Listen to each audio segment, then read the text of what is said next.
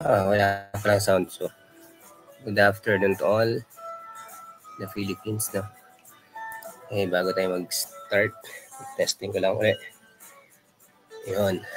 Medyo matagal tayong nawala. Let us continue our review. No?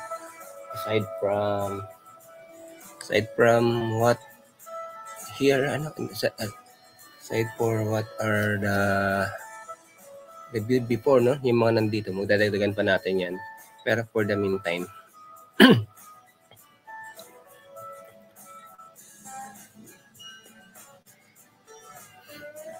for the meantime, ito muna yung topic natin, no? Uh, babasahin muna natin yung nasa revised national planning code. Wala tayong gagawing iba, no? Hindi tayo mag-interpret. Babasahin natin. And let the reviewers uh, anong tawag ito? Yun, sana may matuto sila dito, no? And hope yung mga nakapasa na marami, no? Ang nakaraang taon, may nagpasalamat sa ating dalawa. And nung last July, may nagpasalamat sa ating apat na nakatulong yung channel natin sa pag na, na makapasa sila sa Master Plumber World Exam. So, para hindi na tayo malagdagan ng maraming kwento. Yun. Ito po ang ating meron tayong ina-offer na trainings, SketchUp, Primavera, and Bentley. Sa mga mag-enroll, gusto mag-enroll, can comment in this video or yan, can email me, me bryce.academy.consultancy at gmail.com and to this number 0976-026-3125 0932-800-1219 for the details of this software training. No? And sa mga and to get access to membership perks, to get access to the membership perks, and click, click the join this channel. No? Click nyo lang po yung join channel. Yan. Yan, para sa mga benefits. And thank you very much. Uh, nag-join nung nakaraang buwan si Joshua Christopher. Nag-join siya. Yun. And thank you for the new subscribers natin. From July 3 sa hanggang recent, no? As Edgar, Doc, Edgar Carlo Pascual, Clim Ivan Ilegado, Bilan Mavano, Engineer Michael Sabal, Dennis De La Cruz, Sheila Cedron, si Pads Padi, Jeffrey Castillo, Noel Di Mayuga, C. Box, MJ Javier, Apol Lagitan, Jenny, Jenny B. Maurilio, Jan, Jan Pierre, Jerusalem, PLDS Garcia, and no Meruno. So, sa next session natin yung mga August na nag-iulitin natin yan. Gigrit.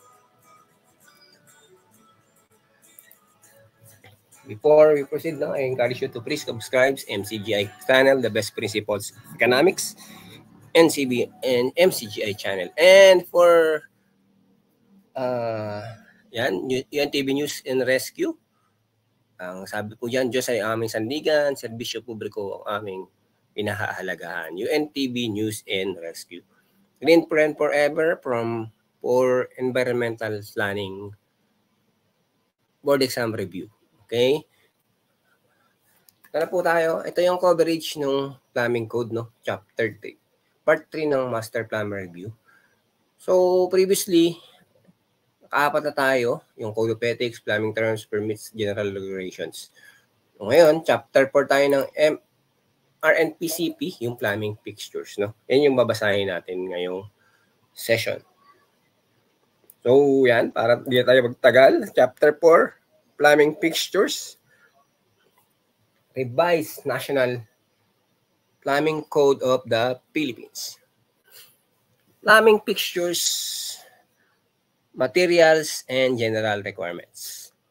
Quality of fixtures, Plumbing fixtures shall be manufactures of dense, durable, non-absorbent materials and must have smooth, smooth impervious surface, free from unnecessary concealed fouling surface, except as permitted elsewhere in this code.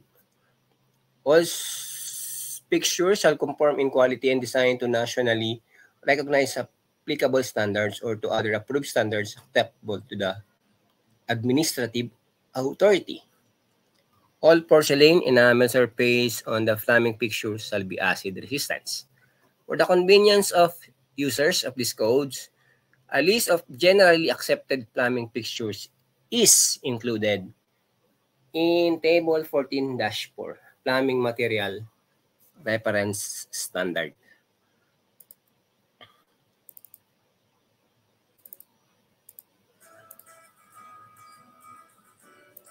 Yan. Next one.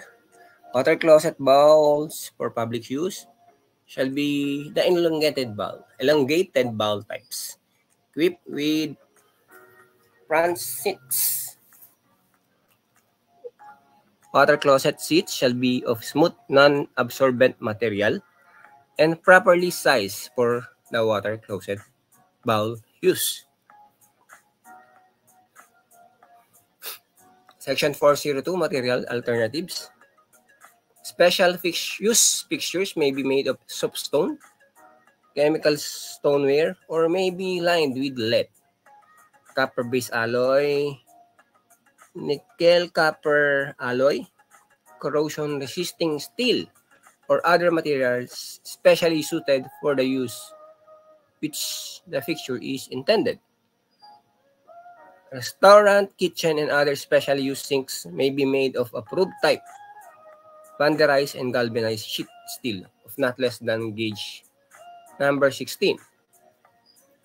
Number 16, USBNS or 1.6 millimeter thick. All sheet metal plumbing fixtures shall be adequately designed, constructed, and braced in an approved manner to satisfactorily accomplish the intended purpose. Section 403, overflows when, when any pictures is provided in an overflow outlet, the waste shall be uh, so arranged that the standing water is inside the fixtures cannot rinse. Rise inside the overflow way when the stopper is closed nor remain inside the out the overflow way and the picture is empty. The overflow pipe from a picture shall be connected to the use to the house or inlet side of the picture trap. Water closet or urinal flush tanks shall discharge into the, bowls or weirs served by them, but it shall be unlawful to connect such overflows with any other part of the drainage system. Section 404 Strainers and Connections strainers are plumbing fixtures other than the water closet, other than water closet, and siphon action, wash down, or blowout urinals. Shall be equipped with approved strainers having an approved waterway area. The strainers serving shower drains shall have waterway equivalent to the area of the tailpiece, meaning the sum of all the areas of the perforations of the strainer is equivalent to the outlet area. Connections. Fixtures having concealed slip joint connections should be provided with an access panel or utility at least 0.3 meter in its least dimension and arrange so that the connections are readily accessible for inspection and repair. Continuous waste and fixture tailpiece shall be constructed from the materials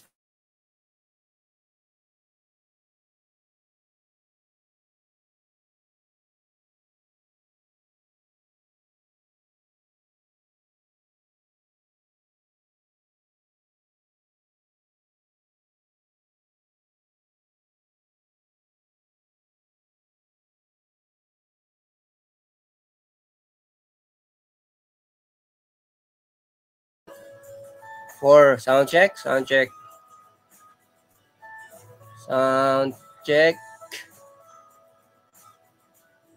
Yan. 404.3.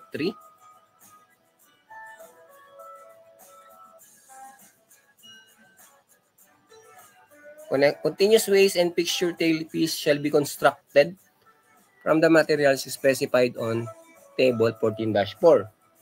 This code for drainage piping.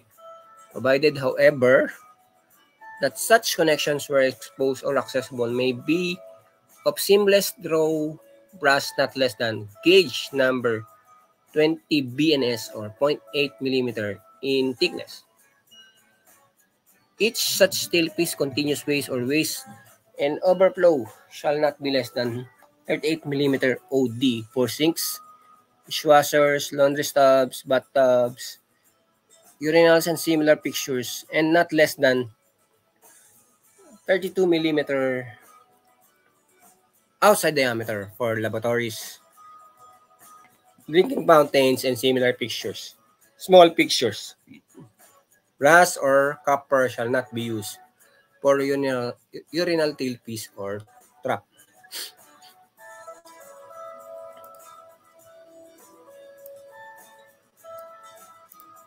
Approved Y or other directional type branch fittings shall be installed up in all continuous waste connecting or receiving the discharge from food waste disposal units dishwashers, clothes washers, or other porous discharge fixture or appliances. No dishwasher drain shall be connected to a sink, tailpiece, continuous waste, or trap on the discharge side of a push waste disposal unit. For section 405, 405, prohibited fixtures. Use of water closet having invisible seals or unventilated space or having walls which are not thoroughly washed out or at each discharge shall be prohibited. Any water closet which might permit siphonage of the contents of the bowl back into the water tank shall be prohibited as well as throw urinals. Drinking fountains shall not be installed inside public toilet rooms. fixed wooden concrete cement or tile wash trays or sinks for domestic use shall not be installed in any building designed for human habitation. No sheet metal lined wooden bathtub shall be installed or reconnected. No dry or chemical closet toilet shall be installed in any building for human habitation unless first approved by the health officer or administrative authority. Section 406. Special pictures and specialties. Water connection. Baptist trees, ornamental and lily ponds.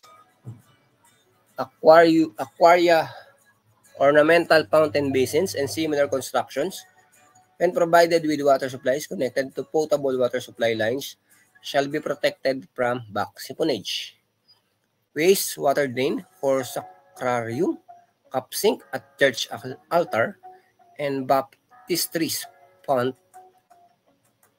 Font outlet shall discharge direct to the ground and not connected to the sanitary drainage system.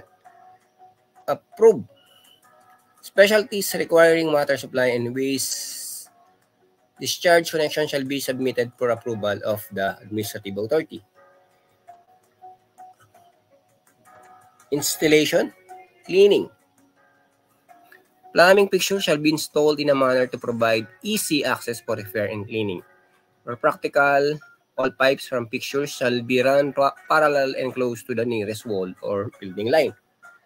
Joints, where a fixture comes in contact with the wall or floor, the joint between the fixture and wall or floor shall be made watertight.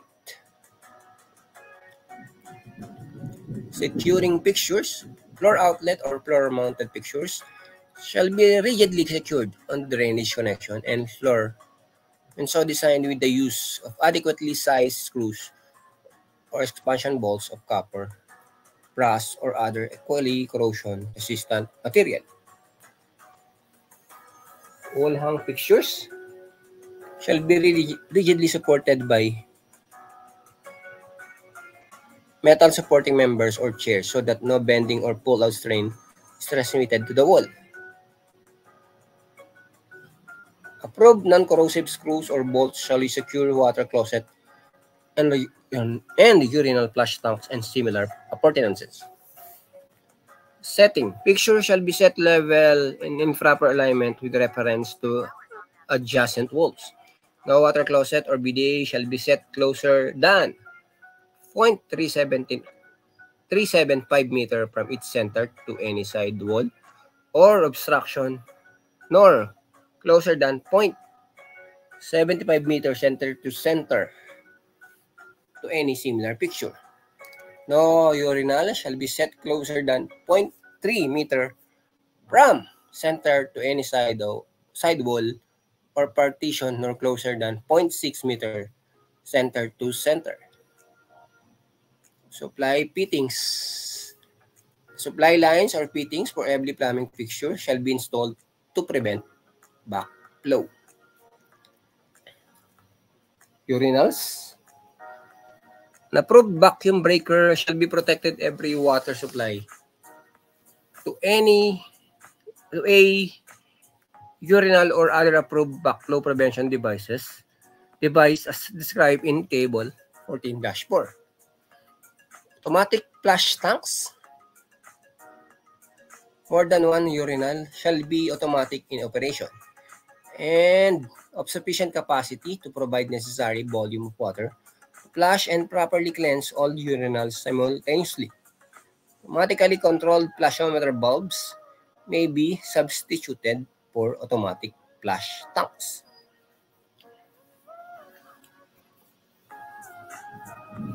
Flushometer bulbs. No manually controlled flushometer bulb shall be used to flush more than one ur urinal. And each such urinal flushometer bulb shall be approved Self-closing type discharge discharging a predetermined quantity of water. Floor drains and shower stalls. Floor drains shall be considered plumbing fixtures, and each drain shall be provided with an approved type and hinge strainer, strainer plate having the sum of the areas of the small holes of the strainer plate or gross waterway is equivalent to the construction area of the tailpiece. Floor drains, floor receptors, and shower drains shall be of an approved type. The body provided with integrally cast water stop outside plunge around the body at the mid-depth and with an inside cock outlet to provide a watertight joint in the floor. Shower receptors are plumbing fixtures and shall conform to the general requirements therefore contained in table 14-4.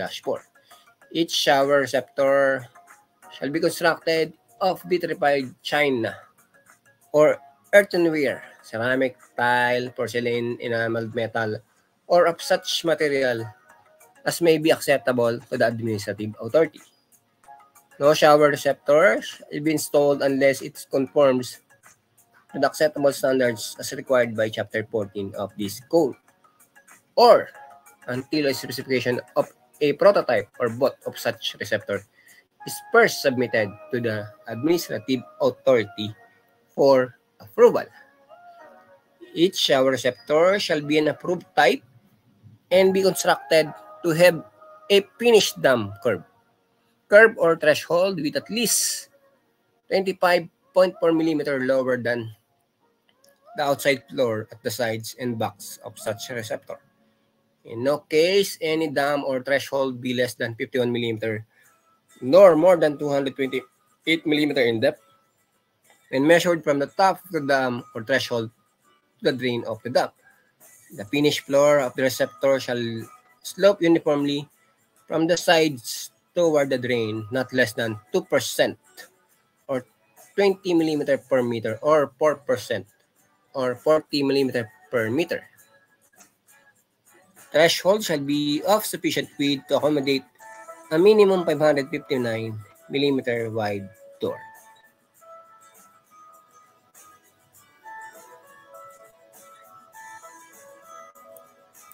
Okay. Exception. Special shower compartment for wheelchairs. Use may eliminate the curb or threshold. Oh, marami pa pala to.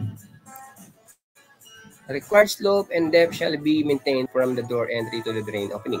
The minimum distance between the door or entry to the drain opening shall be 1.2 millimeter. All shower compartment, regardless of shape, shall have the minimum finish interior area of 0.6 square meter and shall be capable of encompassing a 762 millimeter diameter circle. The minimum area and dimension shall be maintained from a point above the shower drain to a height of 1.78 meter with no protrusion other than the pictured bulb or bulbs, shower head, and safety grab bars or rails. And the construction on of on-site built-up shower receptors is permitted by the administrative authority, one of the following means shall be employed. Shower receptors built directly and onto the ground. Shower receptors built directly on the ground shall be watertight and shall be constructed from approved type dense and absorbent and non-corrosive materials. Each receptor shall be adequately reinforced provided with an approved plunge floor drain designed to make a watertight joint in the floor and shall have smooth, impervious, and durable surfaces. Shower receptor built above ground. When shower receptors are built above ground, the subfloor area and rough side falls to a height of not no less than 76 millimeter above the top of the finish dam or threshold shall be first lined with a sheet lead, lead or copper or with other durable and watertight materials.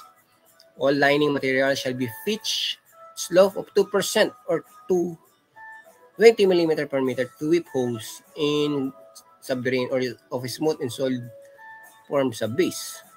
All lining materials shall extend upward on rough jumps, slower opening to a point no less than 76 mm above the top of the finished dam or threshold and shall extend outward over the top of the, the rough threshold and be turned over and fastened outside the face of what the rough threshold and the jumps. All metallic shower pans or linings may be built up on the job site of not less than three layers of lay of standard in grade 6.8 kilogram asphalt impregnated roofing felt.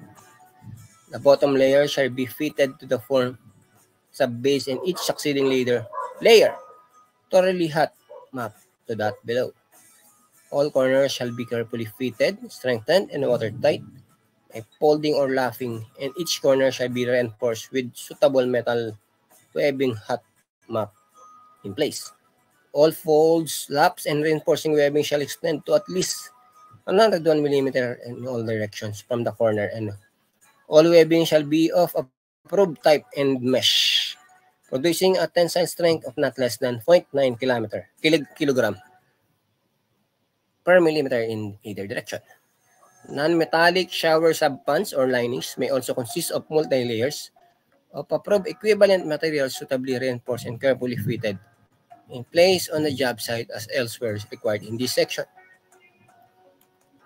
Lining shall be properly recessed and fastened approved backing so as not to occupy, occupy the space required for wall covering and shall not be nailed or perforated at any point which may less be less than 25 mm above the finished dam or threshold. An approved type subdrain shall be installed with every shower subpan or lining. Each subdrain shall be of the type that sets flush with the subbase and shall be equipped with a clamping ring or other device to make a tight connections between the lining and drain. Sub-drain shall have whip holes into the waistline. All shower lining materials conform to the approved standards acceptable to the administrative authority. Floors of public shower room shall have a non-skid surface shall be drained in such a manner that wastewater from one batter will not pass over areas occupied by other bat. Gutters in public or gang shower rooms shall have rounded corners for easy cleaning and shall be sloped not less than 2% toward the drains. Drains and gutters shall be spaced not more than 4.9 meters apart. Ulo, saan na ba?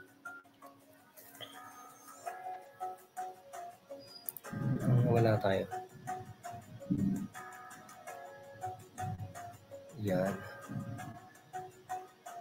In the absence of local regulation, showers, occupancies, other than dwelling units served by individual water heaters shall be provided with an individual shower control bulbs of the pressure balance or that thermostatic mixing bulb. Multiple or gang showers may be controlled by a master thermostatic mixing bulb in lieu of individually controlled pressure balance or thermostatic mixing bulbs. Limit stops shall be provided on such bulbs and shall be adjusted to deliver hot water with a minimum temperature of 48.88 degrees Celsius.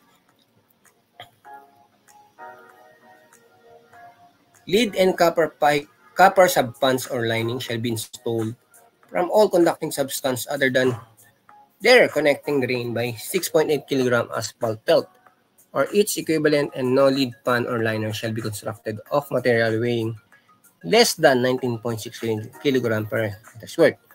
Thickness of copper pans or liner shall be at least gauge number 24 BNS.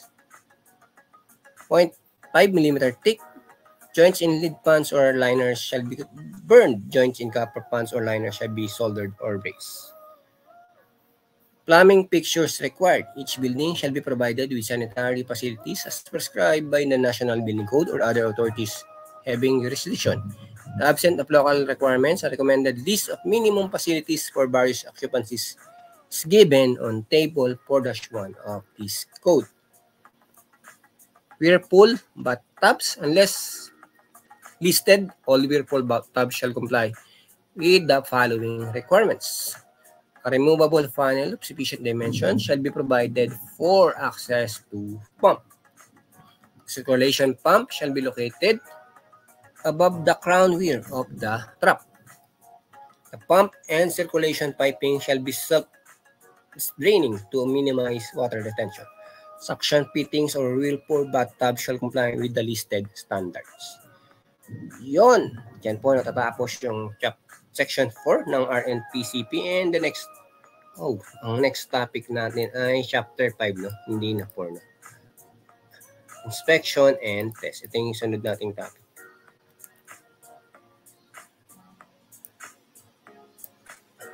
Yan ang next. Inspection and test. No? Chapter 5. Hindi ko lang sana edit. So, editing ko na siya. Oh, nakalagay kasi dito, table 4-1 minimum facilities. Ah, sorry. Tama po yan. Tama pala yan.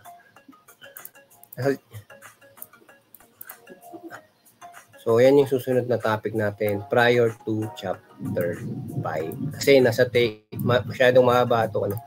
Haba na naman ang tinapik natin. No? Ilang minutes na tayo. Pero, almost, eh, 30 minutes na tayo medyo na ano ako sa yung, yung lalamunan ko no? Pasensya na kayo more comment suggestion and correction. Pardon me kung medyo mabagal mali ng pagbasa or whatever comment no, negative or positive man. Okay lang yan. Sa comment lang po kayo dito and you can comment in these videos and other videos no mga hindi pa po nakaka-subscribe, please subscribe to Bryce Academy and Consultancy no, at Bryce AC. No? For more engineering software, software review, engineering topics. Yan, master plumber review. Marami pa, no? Marami pa tayong gagawin. For the meantime, yan muna, no? Nagbabasa tayo paunti-unti. Pero gagawin ko siyang alternate. Heading yan. Chapter, tas table, then Q&A, no? Para hindi naman kayo mag-boring matapos yung mga reviewer natin. Aside for the reviewer that even though I've been already finished, no? Yun. Okay, niulit ko lang. Sa mga interested, no? I'm offering software trainings, no? Oracle Primavera P6, Bentley, no? STAD Pro BSI and SketchUp, no? For the yan, for inquiries yan, you can email bryce.academy and consultancy at gmail.com or contact me in that number, no? 0976-026-3125, 0932-800-121. Oh, for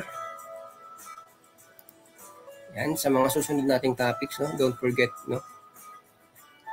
Until next time, next time. See you in next time. Thank you very much and have a great day.